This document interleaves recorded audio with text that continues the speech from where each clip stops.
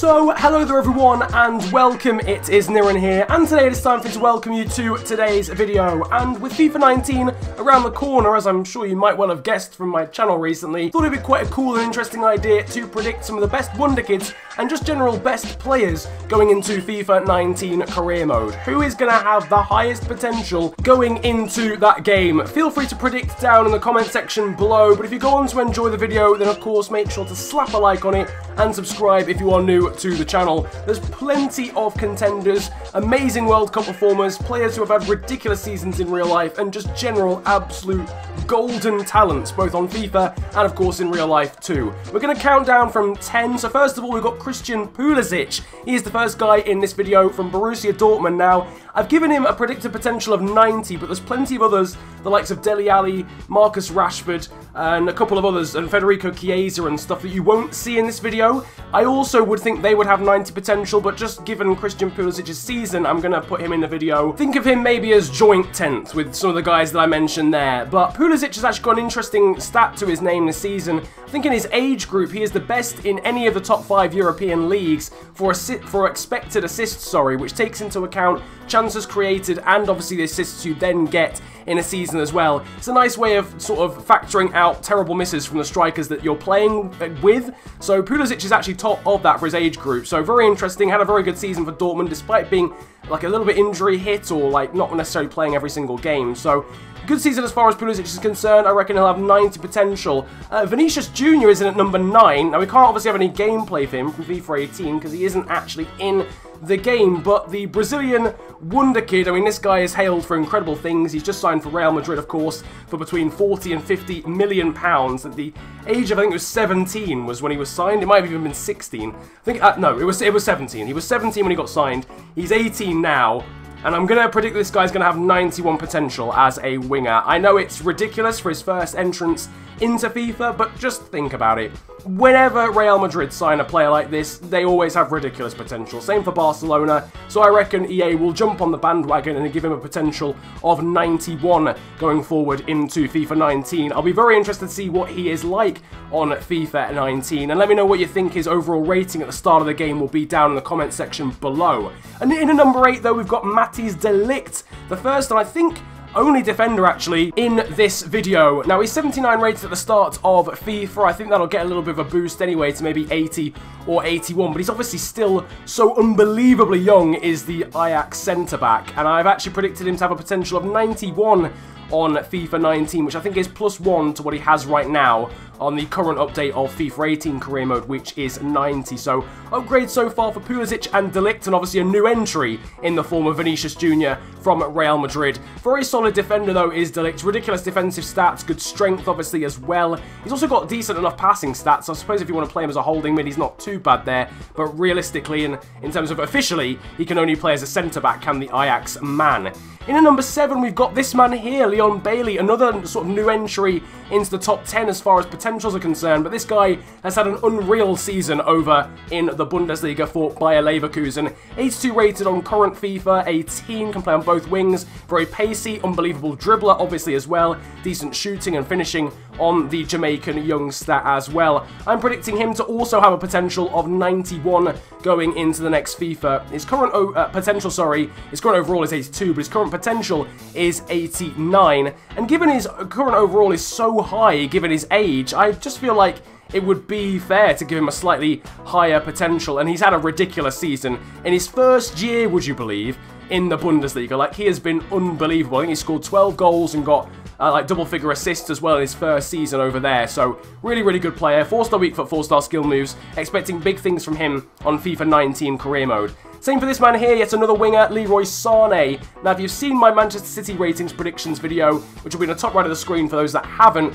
you'll know that I predicted this guy to have 92 potential on FIFA 19. He's 85 rated currently on FIFA is the German who, of course, didn't go to the World Cup, but still had an unbelievable season picking up PFA Young Player of the Year in the Premier League as Manchester City went on to win the title. Yeah, I predicted him to stay at 92 in terms of his potential. I think his potential is very fair right now. I think he will develop into one of the best players in the world, and I, hence I feel like EA will stick to that sort of level of potential, if you like. So Leroy Sané is in at number six for Manchester City right now, and you'll see as we move on in a second, Manchester City is a little bit of a theme in the middle of this video because we've now got his Brazilian teammate, Gabi Jesus, the striker who is 83 overall, and again, I predicted him to have 92 potential as well. So, I mean, Gabby Jesus again has had a ridiculous season. Sane picking up double figures in terms of goals and assists. Gabby Jesus, I think, getting 13 goals in the league uh, as a 20 year old is just utterly ridiculous. So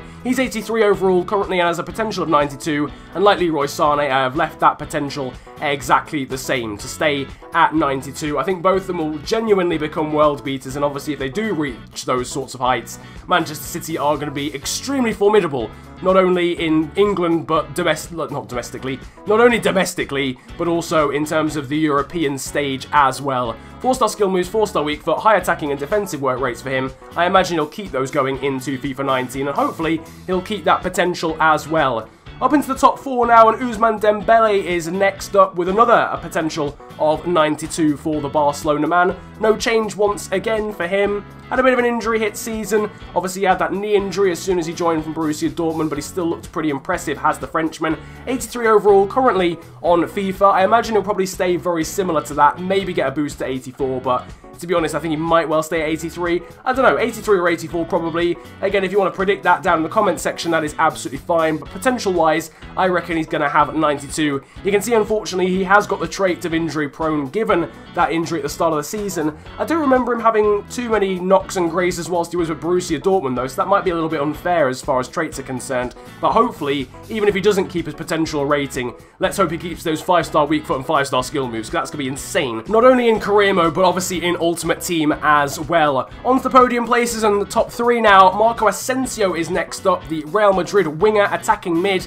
Uh, sort of combo. He's 84 rated at the moment on career mode and has a potential, I think, of 92 right now. I've actually boosted that by plus one to 93. I think He's got 92 potential right now, but I, yeah, as I mentioned, I boosted it to 93 regardless. He's 21 years of age, but this kid genuinely looks as if he'll be a bit of a world beater, if I'm going to be honest with you. Him and Isco are formidable in terms of midfielders that Real Madrid are going to have in their prime. Like, that is ridiculous. And obviously, same for Spain as well. They're both Spanish players, so going forward, those two are going to be unbelievable as number 10 slash wingers slash just attackers, forwards, midfielders, whatever position you play them in, they're going to be formidable. But Asensio, I have given the third best, or joint second best, actually, potential uh, for FIFA 19. Predicting the same potential for Gianluigi Donnarumma here of AC Milan. He's 82 overall at the start of the game. I think actually at the start of FIFA 18, he had a potential of 94. I think it's been moved down to 93. I swear he had a potential of 94. Regardless of that, it's 93 right now, and I'm leaving it the same in that regard. So Donnarumma with a potential of 93. Hopefully, again, he'll keep a very similar overall and he'll be an absolute monster once again in FIFA 19 career mode. He genuinely looks the real deal as far as goalkeepers are concerned. He could genuinely become the best goalkeeper in the world. Obviously, he might not he might not be of a generation of Manuel Neuer. You might see the end of Neuer before you see Donnarumma at his peak, so that'll be a bit frustrating, but you might see uh, Donnarumma versus De Gea situation as far as the best goalkeeper in the world is concerned, and I look forward to that fight realistically. But in a number one, it's no real surprise after his exploits at the World Cup. Kylian Mbappe Lottin, fresh off the back of winning the biggest cup in world football, uh, as a teenager is going to have a ridiculous potential, especially given he absolutely lit up that tournament and really, really made a name for himself. Like, he announced himself fully on the world stage at that World Cup. So, currently has a potential of 94. I was toying with the idea of giving him 94 and 95. I wasn't really able to decide between them, but to be honest, I think 95 would be almost unheard of. I think only two players have ever had 95 or above potential in career mode history, so that might be a little bit over the top. So 94 is more a realistic goal, but I think 95 is